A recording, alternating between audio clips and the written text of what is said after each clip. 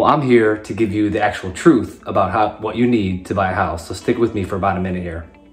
All right, before we get going, real quick, I'm Paul Ruksenas, your Cleveland real estate agent.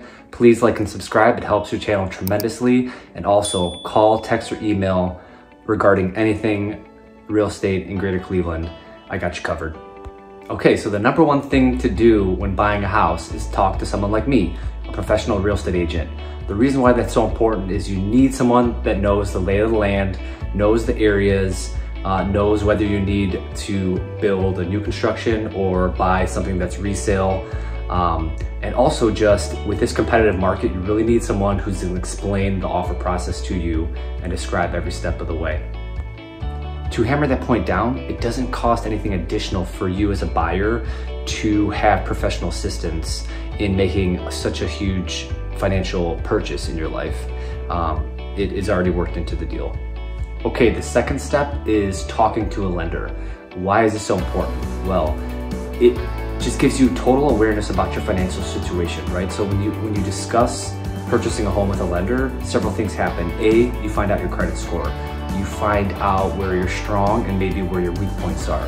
Lenders look at buyer's debt to income ratio, right? So they are giving you a budget and what you can afford based on what they would approve you on and what you can handle as a monthly mortgage payment. So it gives you so much financial awareness and then also the ever, ever important pre-approval letter.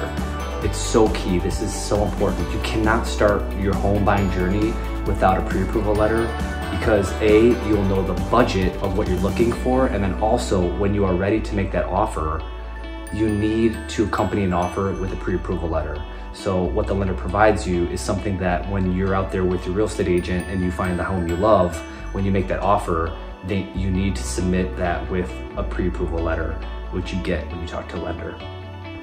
Okay, the third step in buying a home is to target the areas in which you're looking for pick one or two or three cities or areas that you're looking for because Greater Cleveland is so diverse and there's so many options. There's rural areas, urban, by the water, there's more developments, some that are closer to schools. Uh, you may need sidewalks, stuff like that. So picking a few areas, if you cast too wide of a net, there's gonna be paralysis by analysis and you won't be able to hone in on what you're looking for because you're spreading too wide of a net. So target a few of the areas you're looking for. Okay, the fourth step in buying a home is this is where I come in and set you up on a search portal based on the specs that you're looking for in a home and also the areas that we just talked about, why that's so important. So what then I do is set you up on a search portal that specifically sends you and I an email with any of the homes that match your criteria in what you're looking for and the areas you're looking for. And that's huge because that keeps us ahead of the game. Okay, the fifth and final step and the most fun step is acquiring the target, right? So because you have talked to a lender, got a pre-approval letter, picked out the specs of exactly what you're looking for, picked out the areas, and now we have a search portal set up that's sent you some of the new listings. This is when we come in and acquire the target. This is when uh, making an offer is so important. The one thing I want to stress here of, of super high importance and priority is you really shouldn't be afraid as a buyer to make offers. There are things in place as a buyer to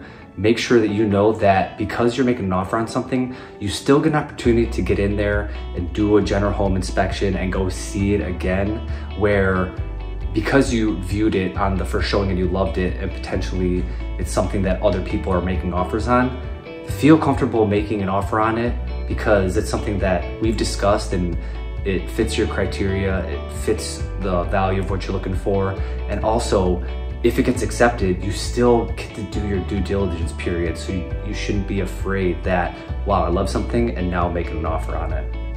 And that's it, it's super exciting. And then once your offer gets accepted, um, I have all kinds of informational uh, tips and advice and videos and information to send you and makes the process super smooth.